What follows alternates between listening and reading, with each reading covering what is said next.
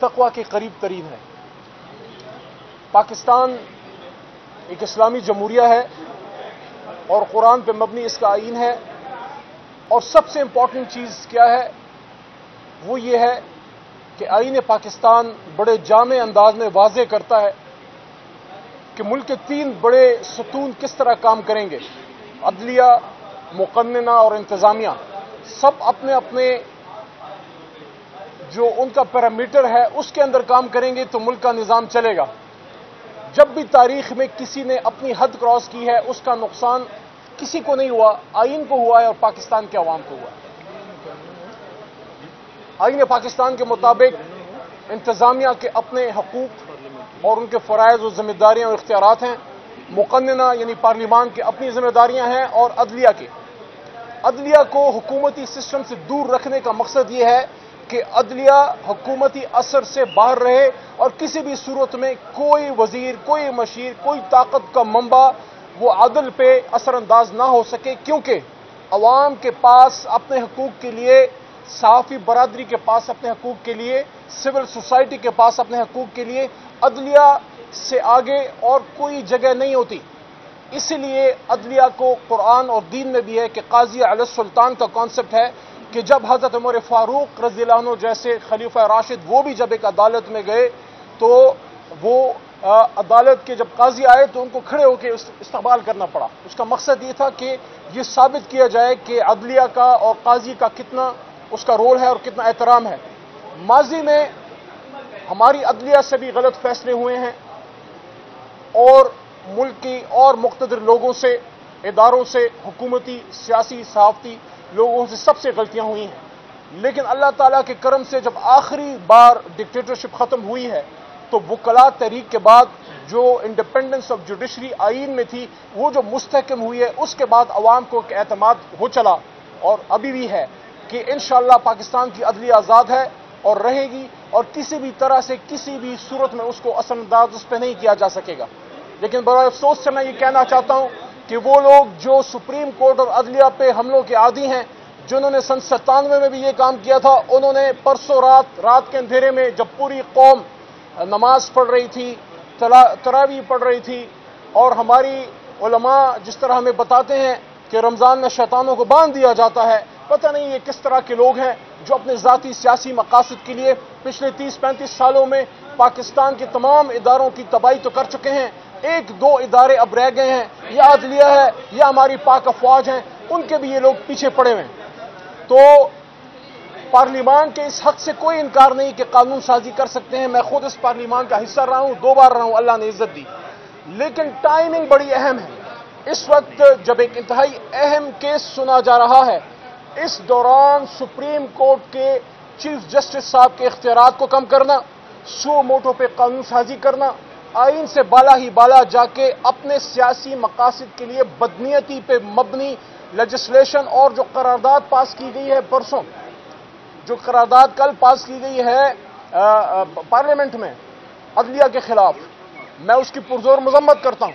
ये कोई काम नहीं है पार्लियामेंट का कि वो अपनी जाती मकासद के लिए सियासतदान मिलकर अदलिया पे अटैक करें। उनको तो अदलिया को मज़बूत करना चाहिए। दूसरी बात वज़ीर आज़म पाकिस्तान। और उसके साथ साथ वज़ीर खारजा और जो उनको और जिम्मेदार लोग हैं, उनसे मेरा सवाल यह है, क्या आईन पाकिस्तान आपको पाबंद नहीं करता कि पार्लियामेंट के अंदर आप वहाँ अदलिया और जज साहिबान के किरदार को जिस तरह से आपने किरदार खुशी की है और जिस तरह से आपने तनकीद की है, आपको आईन इससे पाबंद करता है कि आपने ये काम नहीं करना? और, शहबाज शरीफ साहब आप, बिलावल साहब आप, और उसके साथ साथ मौलाना साहब आप और जितने पीडीएम के जुमा हैं, सवाल यह है, चंद महीने पहले एक सो मोटो लिया गया। और उस सो मोटो की बुनियाद पर हमारी हुकूमत एक तरह से अगर बचने का एहतमाल था, वो ना हो सकी। वो फैसला हमारे खिलाफ गया। हमने तो कोई चीख को पुकार नहीं की। हमने तो किसी अदलिया के मोहतरम जज का नाम जलसे में नहीं लिया। हमने तो किसी के खिलाफ हर्जा सराई नहीं की। हमने तो कोई शब खून मारने की कोशिश नहीं नहीं की नाम कर सकते, ना हमारी ये तरबियत है। क्योंकि इमरान खान साहब 25-26 साल से उनकी जदोजहदी आइन और पाकिस्तान की सरबुलंदी के लिए और अदले की आज़ादी के लिए है। आपसे सवाल यह है कि क्या हो गया? वही जज साहिबान, वही चीफ जस्टिस, वही सुप्रीम कोर्ट, एक सो मोटो जो है वो गुड सो मोटो है, दूसरा बैड सो मोटो है? कि एक सो मोटो जब आपके हक में फैसला आया तो आप बड़े खुश थे, आप बड़े मुस्कुरा रहे थे इन जज साहिबान को खराज तहसीन पेश कर रहे थे, और एक सो मोटो जिसका भी फैसला भी आप फाइनल नहीं आया। और मुझे आप ये बताएँ अगर अदलिया कहती है कि आप आइन के मुताबिक इलेक्शन करें तो अवाम के पास जाना आपके खिलाफ कैसे हो गया? आप तो अवाम में से हैं। आप तो वोट को इज़्ज़त दो की पॉलिसी पे कार फरमान नहीं थे। क्या आप अवाम से वोट लेके नहीं आते? तो मैं मरियम बीबी से भी पूछना चाहता हूँ, बसद एहतराम, बड़ी बहन है हमारी। आपने जो कल जलसे में जिस तरीके से जज साहबान, चीफ जस्टिस साहब और इन सबके नाम लिए हैं, आपसे सवाल यह है, बिल्कुल आप सवाल करें। अदलिया पे भी सवाल उठाएँ। थोड़ा सा अबू हजूर पे भी सवाल करें कि अबू जी, सन सत्तानवे में, सन सत्तानवे में जो सुप्रीम कोर्ट पे आप लोगों ने हमले किए थे, कभी उस पर माफ़ी मांगी? कभी उस पर आपको जो है, शर्मिंदगी का एहसास हुआ? ये आप लोगों का काम सिर्फ़ ये है कि पार्लियामान में खड़े होकर मुल्क के सबक वज़ीर आज़म उनकी अहलिया पे अखलाकी हमले करना और जलसों में खड़े होकर पाकिस्तान के आला जुडिशरी पे हमले करना और हमें कोई ये सबक ना सिखाए। हमें पता है अदलिया का एहतराम कैसे किया जाता है और हमारे जिम्मेदार दिफा के इदारों का एहतराम कैसे किया जाता है। इमरान खान साहब ने एक बात की थी कि मुल्क भी मेरा है, फौज भी मेरी है और ये भी उन्होंने एज अ वज़ीर आज़म जब आखिरी स्पीच कर रहे थे, ये कहा था कि इमरान खान से ज़्यादा इस मुल्क को पाक फौज की ज़रूरत है। तो पाकिस्तान तहरीक इंसाफ को पता है कि मुल्क में पाक फौज की, हमारे इदारों की अहमियत कितनी है। लेकिन ये सवाल एक और मरियम बीबी और शहबाज शरीफ साहब, कभी आपने अपने गिरबान में झांका है कि सबक वज़ीर आज़म जनाब मियाँ मोहम्मद नवाज़ शरीफ साहब ने मेरे ख्याल में गुजरावाला का जलसा था, जब उसमें सबक चीफ ऑफ़ आर्मी स्टाफ और और जिम्मेदार लोगों के खिलाफ जो उन्होंने गुफ्तु की थी, क्या वो एक सबक वजी अजम के शाय निशान थी? ऐसी तो कभी कोई बात इमरान खान साहब ने की ही नहीं, फिर भी उन पर रोज पर्चे, सौ से ज़्यादा पर्चे कर चुके हैं। मैं कहता हूँ एक पर्चा और कर दें ज़िले शाह की शहादत का पर्चा तो आपने इमरान खान साहब पे काटा ही था ना, आईजी पंजाब साहब? एक पर्चा और काटें कि इमरान खान साहब पे जो वजीरा, वजीराबाद में हमला हुआ, उसका पर्चा भी इमरान खान पे काटें कि आपने अपने आप पे हमला किया है। क्योंकि आपको इस मुल्क में इस वक्त दहशतगर्द, गद्दार और पाकिस्तान का खुदा न खास्ता, मेरे मुँह में खाक दुश्मन एक ही शख्स नज़र आता है, वो है इमरान खान। तो सारे पर्चे उस पर काटें, क्योंकि इमरान खान का गुना है कि वो सच बोलता है, वो करप्ट माफिया को आश्कार करता है। आखिरी बात इलेक्शन कमीशन ऑफ़ पाकिस्तान सियासत अपनी जगह होती रहेगी। हम भी बात करेंगे। हमारे दूसरे जो भाई, जो हम तो भाई समझते हैं, हालाँकि राना सनाउल्ला साहब हमें अपना दुश्मन समझते हैं। हम तो फिर भी उनको पाकिस्तानी होते के नाते भाई समझते हैं, सियासी इख्तलाफ अपनी जगह। वो अपनी बात करते रहेंगे। लेकिन इलेक्शन कमीशन एक आईनी इदारा है और कल जिस तरह सुप्रीम कोर्ट ऑफ़ पाकिस्तान में उन पर इस्तफसार हुआ और उनसे यह पूछा गया कि किस कानून के तहत आपने इलेक्शन की डेट तब्दील की है? आइन के मुताबिक इलेक्शन की डेट या सदर ममलिकत या गवर्नर वो दे सकते हैं। इलेक्शन प्रोग्राम चेंज करना इलेक्शन कमीशन ऑफ़ पाकिस्तान के इख्तियार में है।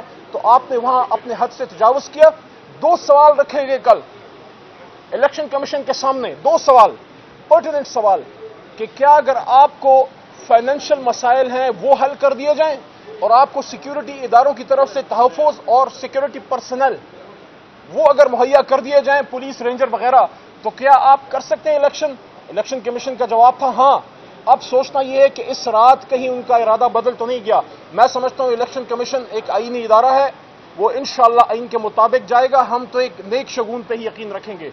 और जो सुप्रीम कोर्ट उनको डायरेक्शन देगी, उसके मुताबिक जो है वो इलेक्शन करेंगे। आखिरी बात अवाम का हक है कि उनको अपना हक राय दही इस्तेमाल करने दिया जाए। ये उनका आईनी हक है।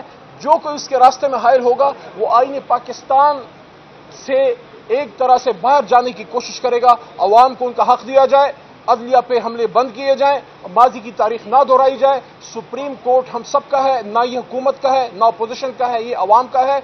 और जो बेंचेस के अंदर मामला हैं, उस पर गुफ्तगु ही नहीं की जानी चाहिए। वो चीफ जस्टिस साहब का और उनकी जो मोहतरम अदलिया है, उनका अंदर का एक मामला है, उसको इस तरह से मौजूद बहस लाना और उस पर इस तरह से हर्जा सराई करना, मेरे ख्याल में आज अगर अपने सियासी मकासद के लिए हमने हर जगह तो तफरीक कर दी, अगर हम सुप्रीम कोर्ट पर भी हुकूमत इस तरह हमलावर होगी, आप मुझे बताएँ, आप इन 22 करोड़ आवाम को किसके सहारे पर छोड़ के जा रहे हैं? बहुत शुक्रिया।